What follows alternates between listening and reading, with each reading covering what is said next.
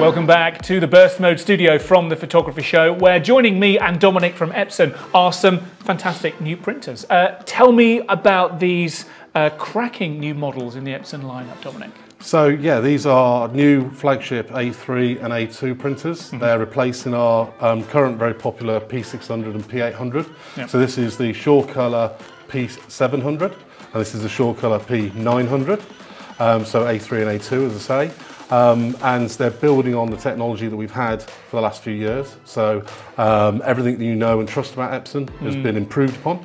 Um, you can see there's a brand new design, brand new look and feel of them. Yeah, there's certainly a new design language that yes, Epson's rocking now, yeah. isn't there?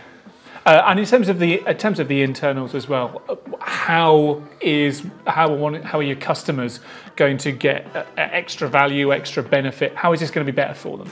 So this has got the new technology on the inside has come down from our professional range. Right. So there's a lot of reliability there because it's already tried and tested. Mm -hmm. um, in terms of better value, um, so the printers are more ink efficient. So okay. they'll find their running costs should reduce. Mm -hmm. um, because of the new user interface, they're easier to use yeah. as well, so there should be less wastage.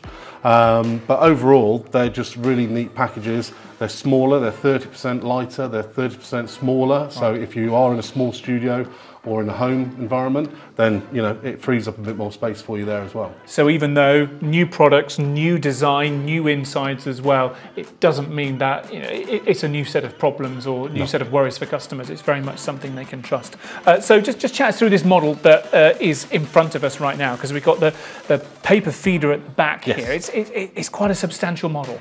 Yeah. So it effectively comes in two parts. You've got the main printer here, and then this is actually an optional roll um, adapter. Mm -hmm. So if you want to do panoramic prints or you've right. got multiple of the you know prints you want to do. Again, it can be more efficient to do it on a long roll than mm. it can mm. onto individual sheets. Um, but otherwise, you'd normally load your cut sheet media yep. in the top here as you would with a traditional printer.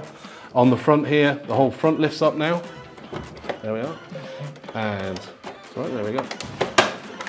And you've got the ink bays at the front here, so you've got oh, our, yeah our new 10 colour ink system. So this 10 colour ink system, 10. right, go on. We've go got Tell an, me about that. We've got an additional violet ink in here now. Um, so that's extending the blue gamut area. Mm -hmm. So that improves upon, again, the existing colour gamut that you can reproduce. It's just widening that out even further.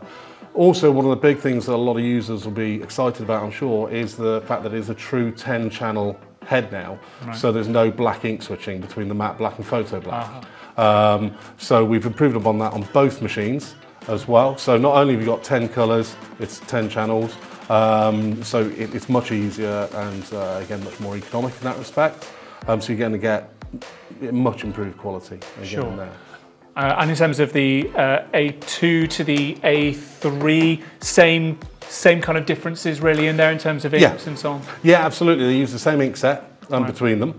Um, so it, it's the same colour set. It very much it's all about the size. Yeah. So the the 900 does have a higher capacity ink set in there. Yeah. So again, you get more uh, economy from having the bigger ink cartridges.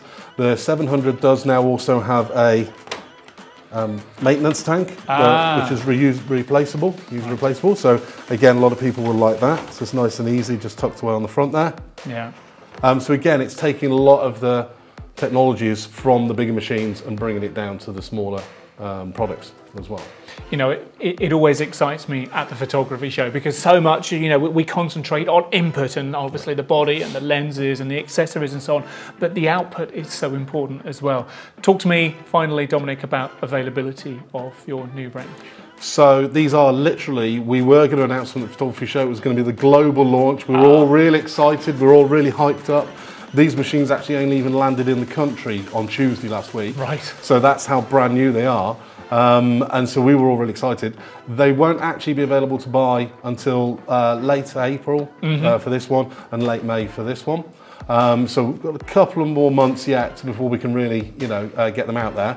But, you know, I personally will be out on the road visiting resellers and events and things like that with these machines so users can come see them. If they see that Epson's going to be at an event, they should be able to see these machines available for that. Which makes it even more of a privilege for us to have you and your new kit here Absolutely. in the studio with us. Dominic, thank you very much indeed for joining us here at Burst Mode. Uh, and uh, yeah, thanks for bringing in your new kit. That's great. Thanks for having us.